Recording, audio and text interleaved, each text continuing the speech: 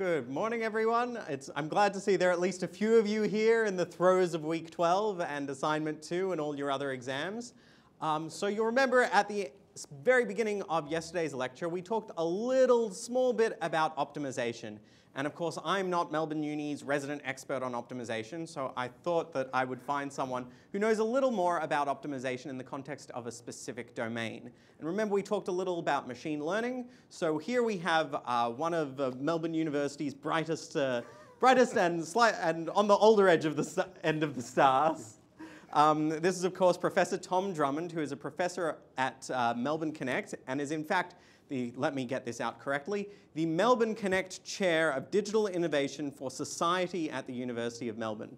Now, uh, he also has the distinguished honor of being the former head of Department of Electrical and Computer Systems Engineering at Monash University, as well as the former uh, Monash node leader for the ARC Center of Excellence in Robotic Vision. So this is the study of how to help computers understand the world around them by, through image processing.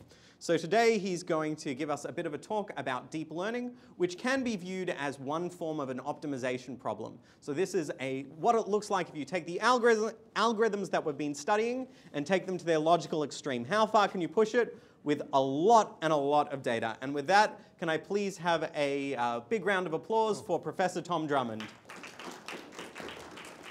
Thanks, folks. All right, um, so yes, I work in computer vision, um, and since 2012, computer vision is dominated by deep learning. Um, so I'll talk a little bit, the lecture will start on a very sort of didactic thing about continuous optimization and what that looks like, and then we'll look at what that looks like in the context of deep learning, and then I'll end up on some sort of personal stuff that I've worked on um, that's interesting specifically to me. So it will go from the very general to the rather specific. Uh, so, so in, in optimization, we're often faced with systems where we can control some things and we can measure some things. Um, so on the left, we've got the things we can control, and on the right, we've got uh, the things we can measure. So if you're driving a car, then the things you can control, the knobs are the steering wheel, which kind of looks like a knob, um, the throttle and the brake, which don't really look like knobs, but we'll go with it, and the clutch and the gear stick if you drive a manual. Um, and so what we're left with is a situation where we want to end up somewhere, literally in our car or um, in a system, we want the outputs to read certain things. So maybe we're controlling a chemical plant and we want this to be within some range and this dial to be within some range and so on. Uh, and so what we want to do is figure out how to adjust the knobs so that the outputs have their desired values. This is, this is the game.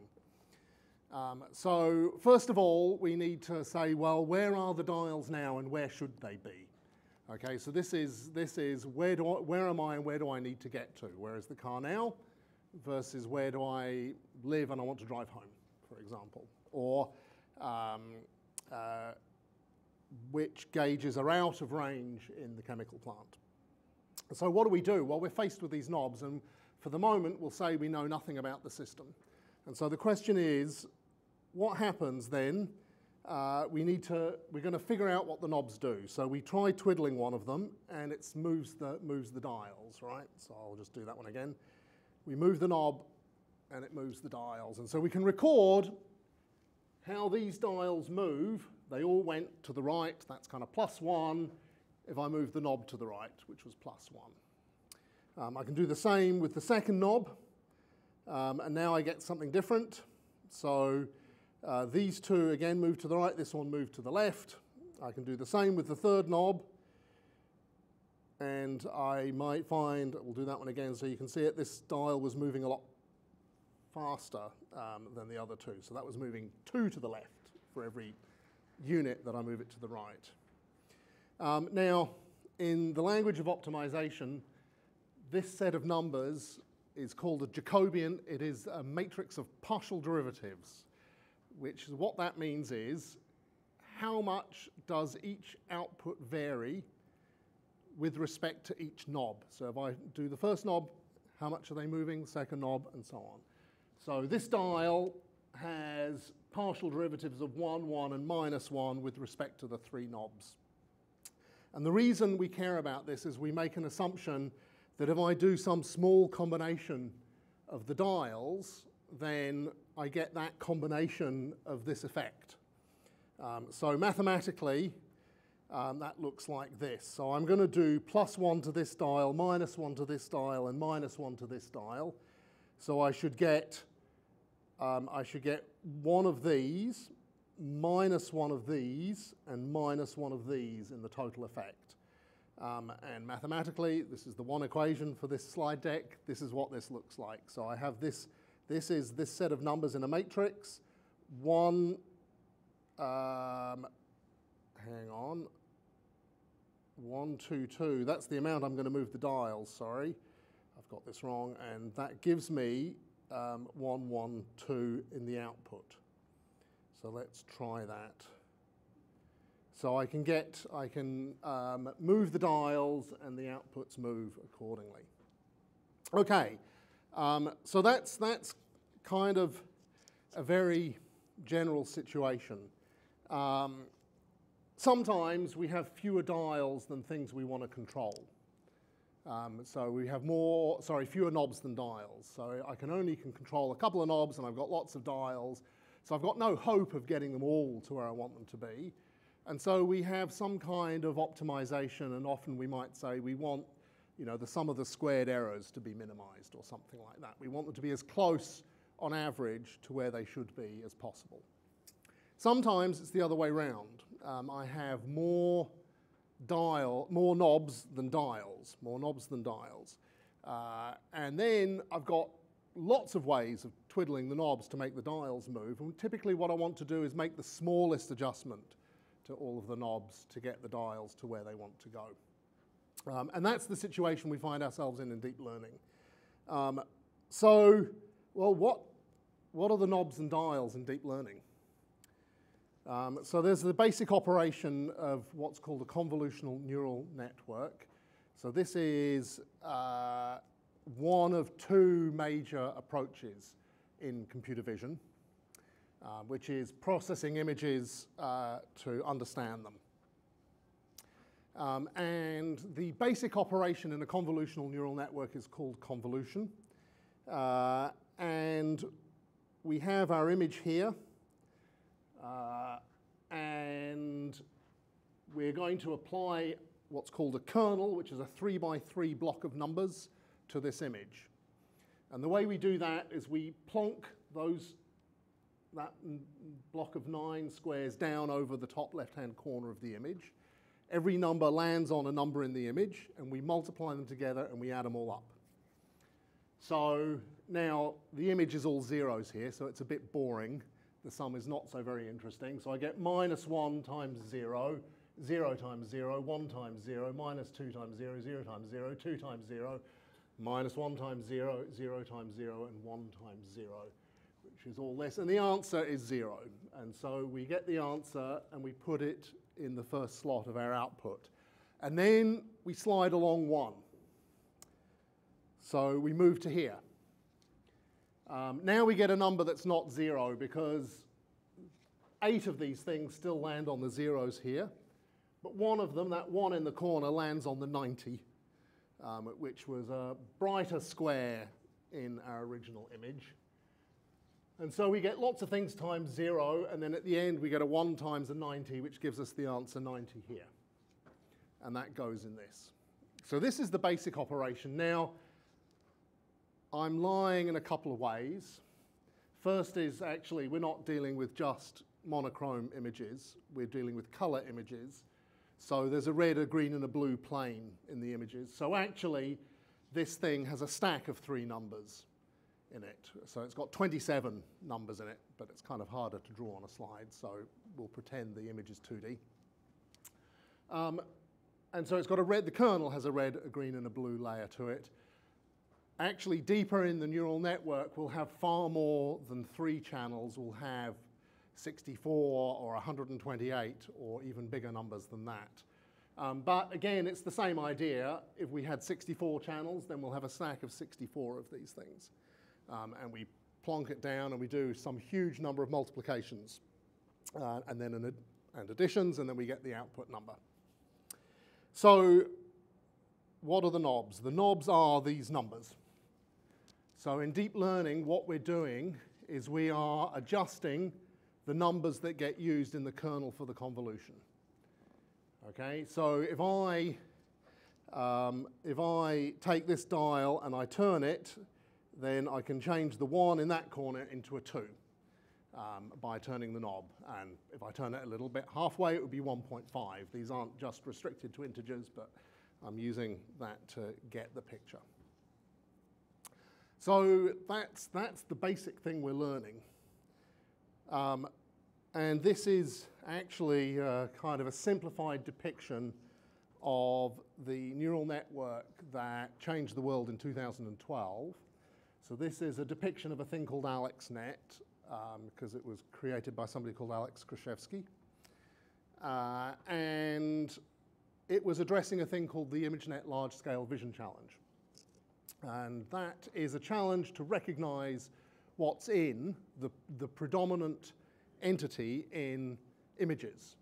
Uh, and the way that this system, the way that this challenge ran, is the, the challenge organizers distributed about 1.4 million images. Um, and those images were, each of them were in one of a thousand classes. Um, and so the classes were things like bicycle or motorbike or train. Uh, there were various specific breeds of cats and dogs. There were other animals. Um, there are cherries, and so on. Um, so there are a thousand different classes in this. So there's about 1,400 images per class in the training set. And then there was a withheld test set. Uh, and the, what you had to do was build your system using this data, and then you tested it on the test data uh, to see how it performed. And until deep learning was really unleashed in force, the best solutions were massively hand engineered systems, very, very complicated systems, lots of human programmer time um, designing them uh, and carefully tweaking them to be optimal. Um, and what they used to do, because it's a really tough thing to do, or at least it was considered to be tough at that time, was they would give you, I think it was five guesses out of the thousand. So you got to have five guesses. If you were correct in one of your five guesses, your top five, then you got a tick, otherwise you get a cross. And so they were scoring top five performance. And typically, hand engineered systems had a performance of 25% error rate. So they got 75% of their test samples correct in the top five. This system came along and it knocked that down to 15% error rate. Um, and the, the changes in error rate for the human design systems, they were competing with 0.1 or 0.2 of a percent. They were not big. So cutting 10% off that was a complete change uh, into the system. These days, the error rate is actually um, down to about 3%, um, and about 5% of the data is mislabeled. So uh, it turns out humans operate at 5%. So machines actually can solve this task better than humans. Okay, so what does it look like to train this system on um, using this sort of knobs and dials approach? What we have is a bunch of layers, and in each layer we do a convolution. So this red thing is where all the knobs are. These are the numbers we can change, and they respond to the brightness and color of pixels in some patch in the image, and then we slide that patch all over to get a bunch, a bunch of answers.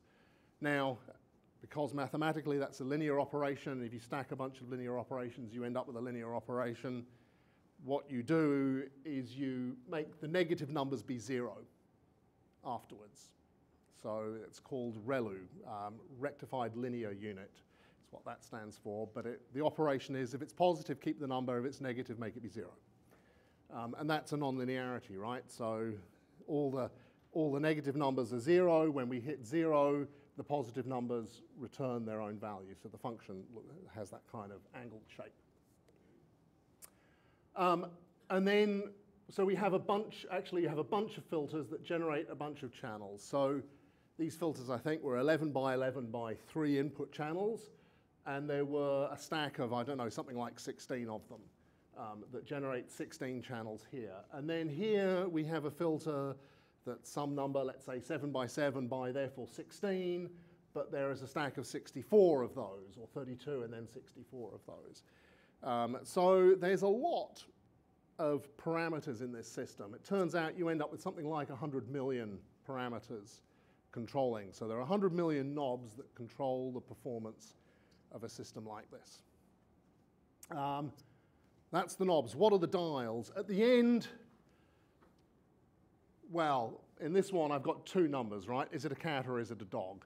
Um, in ImageNet there would be a thousand numbers saying how much do I think it's each class. Um, and I've turned these into probabilities, but actually what the system spits out are unnormalized log probabilities. Um, how to explain, explain that. For dogs and cats, let's suppose the number for cats was three and the number for dogs was four. What that tells you is because the number for dogs was one more than the number for cats, it's E times more likely, 2.818 something, 28 times more likely um, to be a dog than a cat, which is not 92% and 8%, it would be something more like um, 70% and 30% or something like that. Um, and so what we do is we show the thing a picture of a dog and it, it we start with random numbers in all the red. The red bits are all of the where all the knobs are. The white bits are where all the results are. That's like the working memory.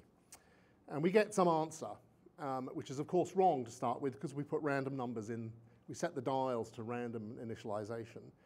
But what we now do is we imagine, and you don't do this, twiddle each of those dials, 100 million dial, knobs one at a time, and you see whether the dial, the output, um, comes closer to the answer you want. Does the number for dogs go up? Because we happen to know this is a dog. And if the number for dogs goes up and the number for cats goes down, that's what we want. And then we show the thing a picture of a cat and we do the opposite. We say the number for cats should go up and the number for dogs should go down. Um, and you do this you got, you got 1.4 million pieces of data, you do it uh, hundreds of times, you show it, you show it all that data 100 times over, so it learns again and again and again, uh, and eventually it learns patterns for what makes dogs and cats look like dogs and cats, and of course bicycles and aeroplanes and all the other, other things. Um, it amused me one day, turns out there are people on the internet with far too much time on their hands, um, and so I found photoshopped examples of cat dogs. Um, and so you can show cat dogs to the uh, classifier and it gets confused. It says, I don't know if it's a dog or a cat. Um, this, is, this is really challenging. Um, um, unfortunately, one of the, and we'll come back to this at a slightly later part of this talk. I should keep an eye on the time. Um, unfortunately, um, there are things, you know, it does the same thing if there are things in the data set it's never seen. So if it's never seen, um, I don't know, let's imagine the Eiffel Tower is a category and it's never seen pictures of the Eiffel Tower or any tower, um, then it might say, oh, I've never seen anything like this. It could be a dog, could be a cat, um, which is unhelpful. And so there's actually a difference between these kinds of uncertainty um, that we'll come back to in a minute. So this kind of uncertainty is, it looks awfully like two different things and I can't tell which it is. Uh, the other is it looks nothing like anything I've ever seen before, so it could be anything. And of course, what it probably is is something, a new category of objects that we've never encountered before, rather than one of our existing categories. Um, so the question is, well, how might we be able to tell that? So um, these things, you know, AlexNet was, I don't know, 100 million parameters. Um, there won't be a person in this room who has failed to hear about ChatGPT um, and large language models. In language models, it's a very similar, there are a similar set of things. I said there were two architectures, there's convolution and there's a thing called transformers, which actually casts attention out across the whole image and pulls data back. Um, that's the predominant technology in large language models. The other technology for large language models are the thing called long LSTMs, long short-term memories. Um, that's a, which is a confusing title. Um, but it turns out actually transformers are, have kind of won the architecture race there. But again, it's a similar kind of idea, except language is kind of a one-dimensional thing rather than a two-dimensional thing, right? We have a stream of symbols. Um, we chop, the, chop that text up into words or word fragments. Um, uh, it turns out there are too many words to, to, be, to usefully chop the thing up into words. I don't know, there are roughly about a million um, things that look like words if you even stick to the English part of the web um, actually possibly more than a million, um, whereas we want, want something down in the tens of thousands. So we find common letter sequences and we chop long words up into chunks. Um, so eously might be a chunk at the end of obviously or something.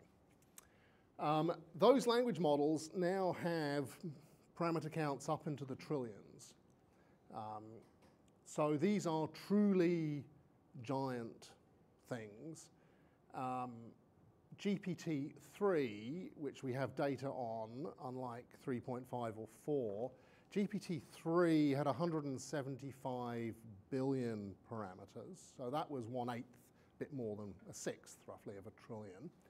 Um, that cost of the order of 5 million US dollars to train.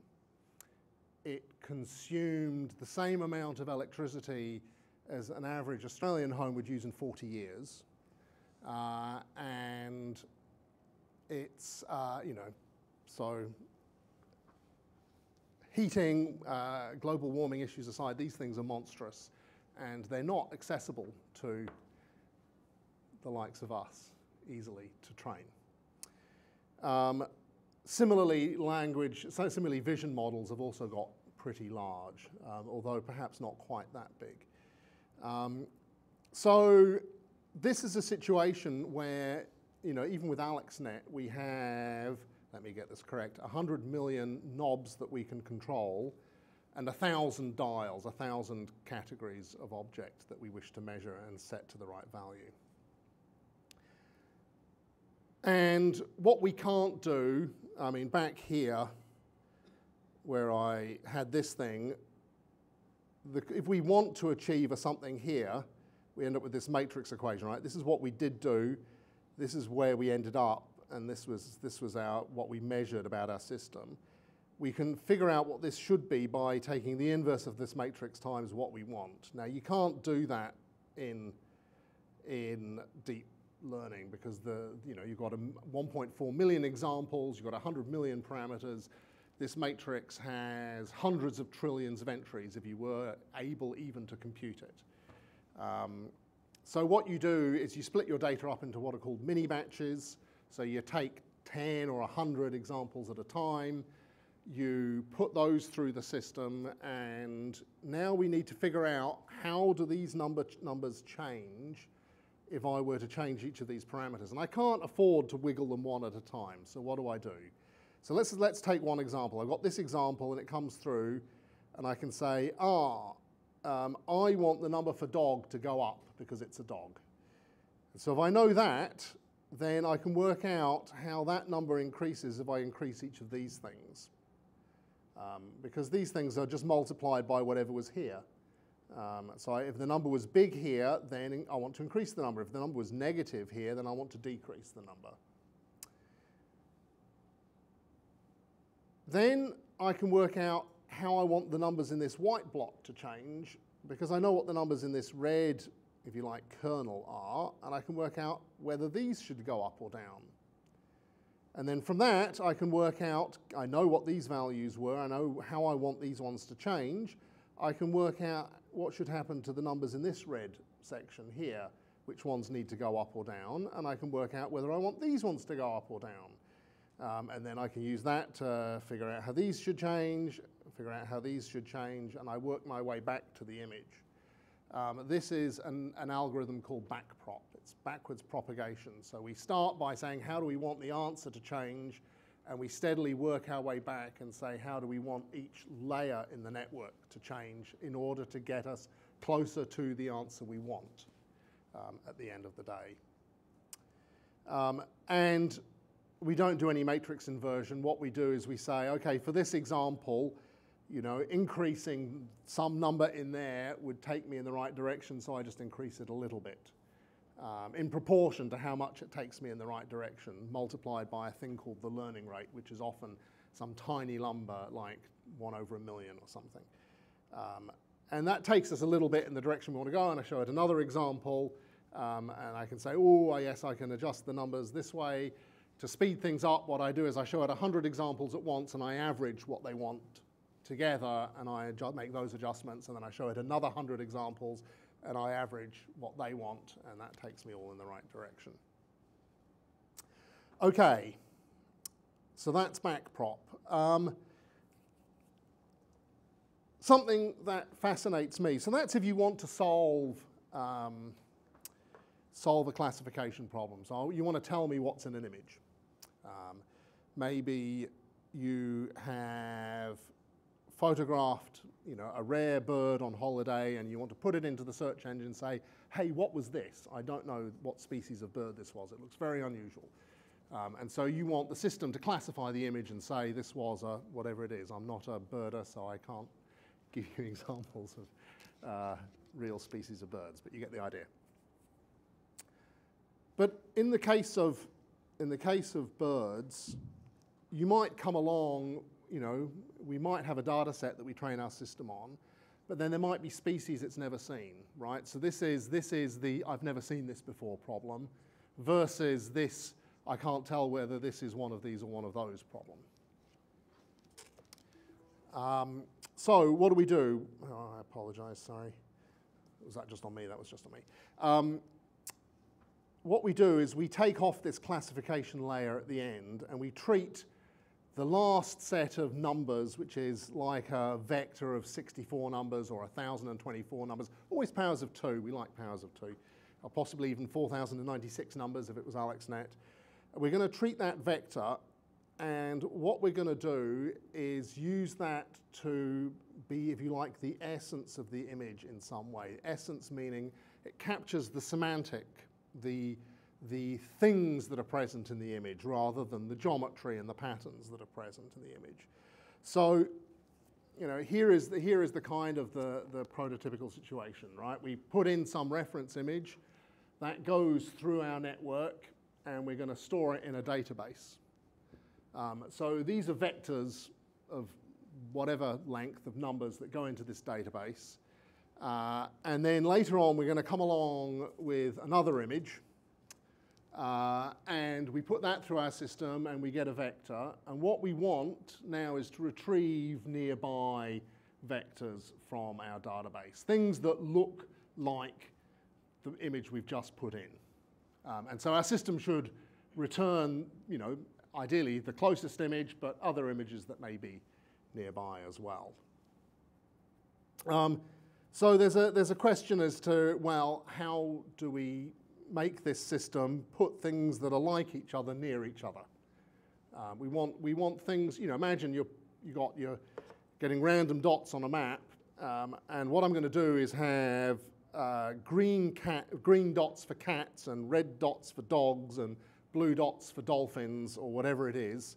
Uh, now what I want is to change this network so that green dots live near each other and red dots live near each other and blue dots live near each other. So that the things I know are in different classes are in clusters. Um, so this is, this is the game we're going to play.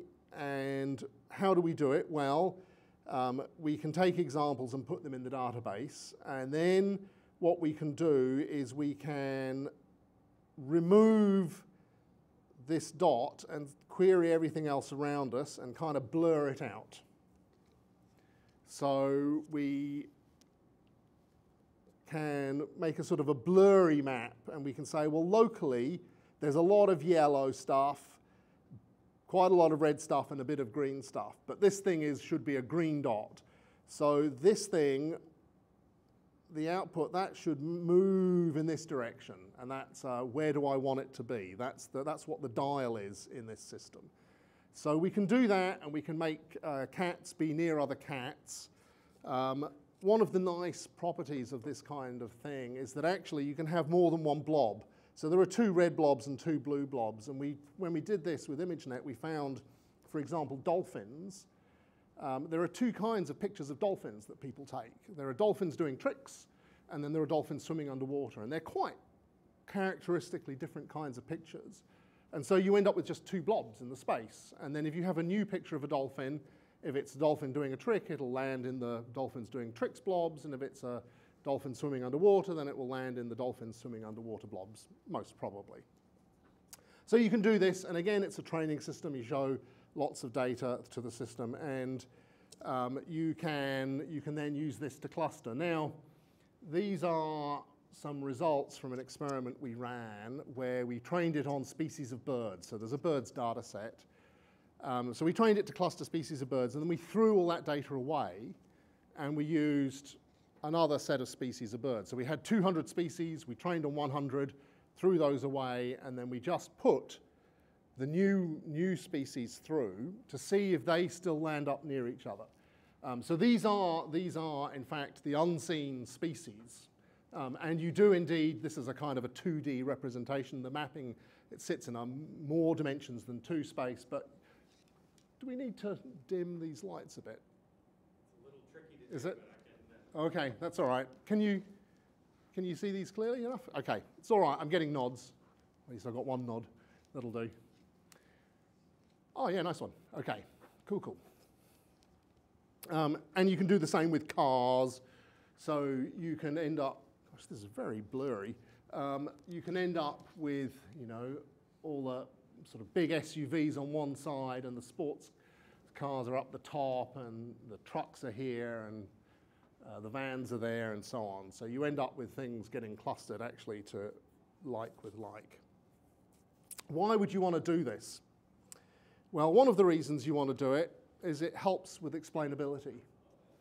So previously, you might train a system to classify pictures of skin lesions and say which ones are melanomas.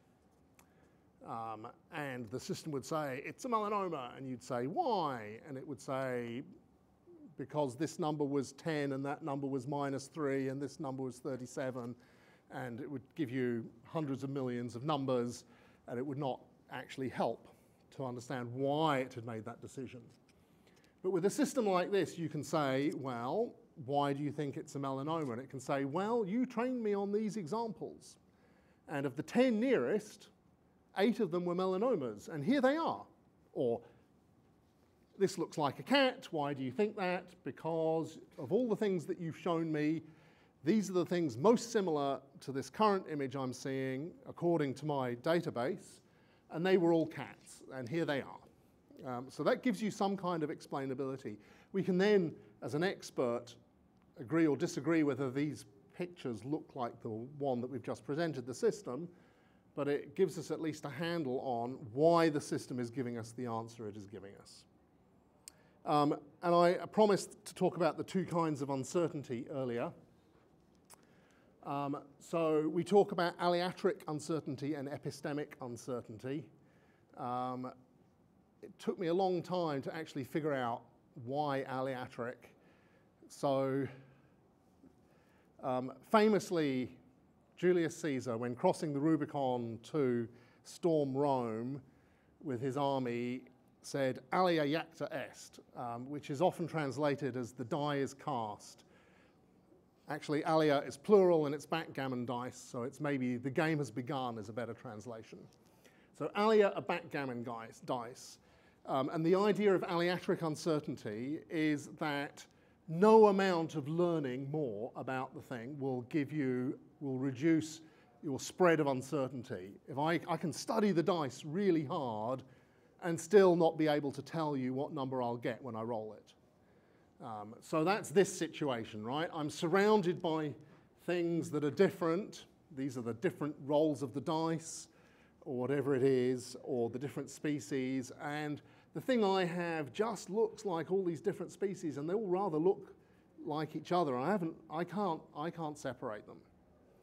Um, so this is aleatoric uncertainty. Um, there's, there's, I can't learn more about this white thing really to, to tell you what it is.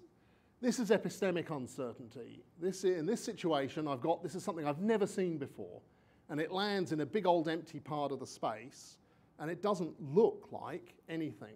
Now, a naive system would say this could be red or purple or blue, and a naive system would say this could be red or purple or blue, and it wouldn't be able to tell you that there's a difference between these situations. But here, if the, if the space is empty, you can say, actually, I know I don't know. Um, and Donald Rumsfeld, who probably is before everybody's time here, comes to mind. He said, There are the things we know, the known knowns. There are the things we know we don't know, known unknowns. And then there are things we don't know we don't know.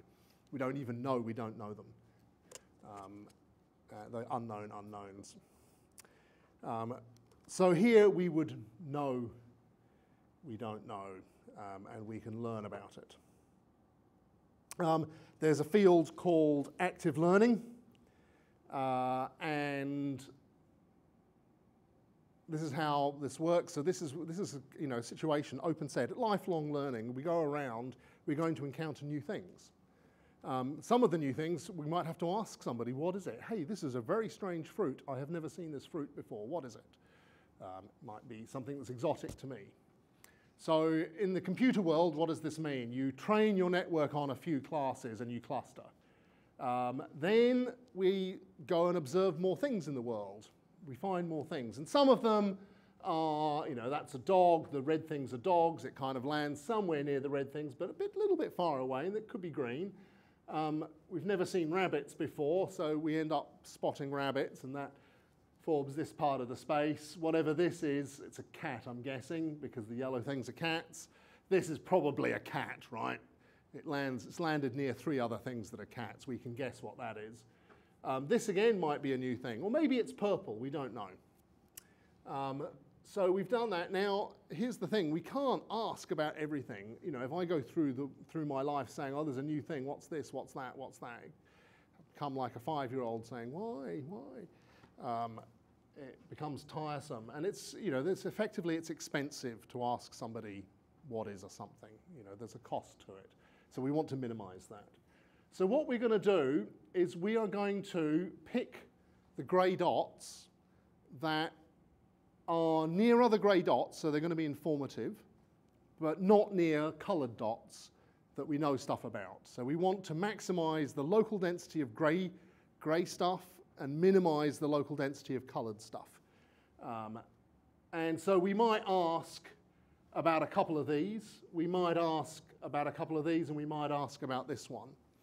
So the system says, aha, well, this is, uh, these things are, no, it's bright, it's a bright pink, different from different class from this. These things are a new thing called rabbits, this thing is a new thing called motorbike, and this one over here, that's a dog. You've seen those before. Uh, now we've got a bit more data, we can reshape our space, reshape our network a bit, so that the purple thing, the new pink things move, you know, things move away to create space around it because they're different. Um, these things move away, the red dot moves up towards near the other red dots, and it start, continues to map things together.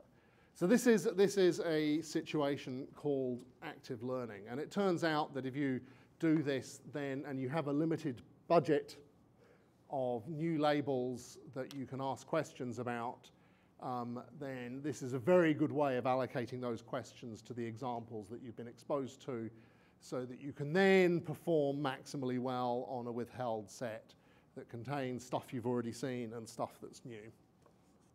Okay, I will finish there as I think we are very close to time, but maybe. Do I? Okay, I'm still. I'm going to finish there. Um, yeah, we've got another 10 minutes. That's fine. We'll take questions. Do you have an online channel for streamers to ask questions? Oh, you have a question, right? That's right, yes. Um, I was just curious because I think in yesterday's lecture we were talking about how an optimization kind of gets stuck at like false troughs. Oh, yes. Local minima, we call those, yes. Minima, yeah. So how would you kind of of navigate that where like if there's a deeper minimum, like your kind of optimization algorithms can get stuck at that false one? Right, that that's a million dollar question, right? That is something that has plagued um, machine learning people for a long time. And there are two parts to the answer to that. One of the things that ha- seems to happen when you have just giant numbers of parameters is that those minima go away. So you might imagine, you know, here is my here is my local minimum and here is the global minimum and I'm stuck here. But in, in if I add another dimension, maybe I can walk around that mountain that's between me and the global minimum somewhere and always keep going downhill to get to it. Um, and what we've done is not just added one extra dimension, but billions of them. And often there is a, another path around. Then there are tricks. So I, you know, we, we often describe it as uh, here is where we want to be. Where we want to be is everything perfectly labeled. Um, and we have a thing called a loss, which is how, how much did we miss that by. Um, in deep learning, we use the loss is the negative of the log of the probability that we assign to what it really is. So if we said it's um, 0.5 a cat and it's really a cat, then the penalty we pay is, well, we take the log of 0.5 um, I can't do that in my head, but it's some number like minus 0.7. Um, and we do minus that, so the loss we pay is 0.7. If our probability goes down, that log becomes more negative and the loss becomes more positive. So that's, that's the way we, uh, way we optimize it. So we have this gradient descent issue. Um, one of the things we do as a trick in deep learning is to add a thing what's called momentum. So if we keep going downhill, we'll go faster and faster and faster. And the idea is if we get to that local minimum, we have enough momentum to get out and escape down the other side. Um, so that's one of the one of the tricks that people use. Um, then there are a bunch of things that have the net effect of kind of smoothing out the landscape. One of the ways we do that is we can add a lot of noise into the system. Um, so we can add either noise to the pixels we put in, or we can add noise to the numbers that we use, or we can add noise to the values, the intermediate values we compute. Um, in AlexNet, actually, one of the tricks they used was to randomly set half of the values to zero um, as, as it went through. So it just bang, you don't see, you don't see this data. And that forces it to kind of distribute its, its understanding about what's happening, doesn't put it all in some one key value, it distributes it across a lot of values. Um, that might not sound like it's called regularization, um, and that has the effect of kind of smoothing out the landscape, and then a lot of the local minima kind of disappear. Um, so that's another trick that people use. Yes?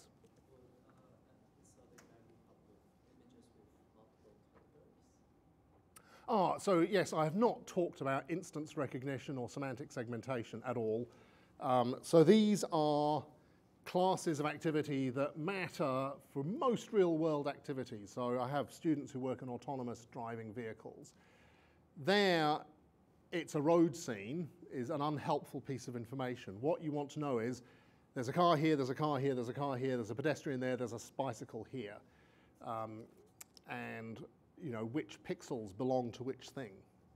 Um, that is a thing called, that's a task called instance segmentation. I've got three cars and I want to where, know, know, where each of them is.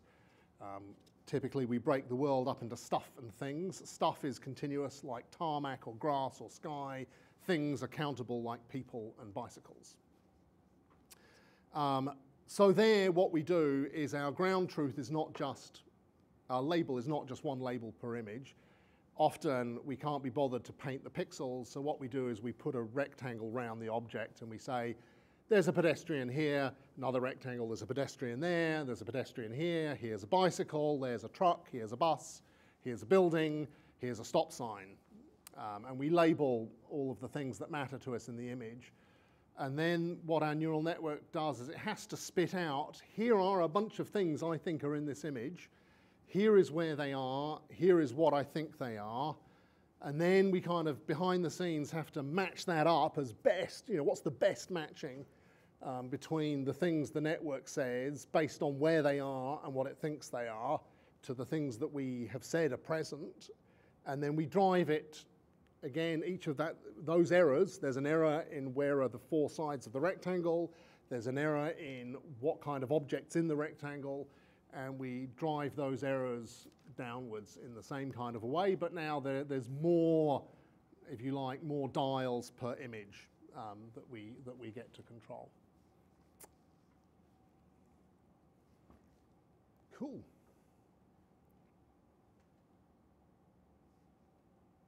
More questions, anyone? I think we have exhausted the uh, capacity for it. It's all right, Shaanan. It's, it's all good. Well, could we have another round of applause for um? Thank you.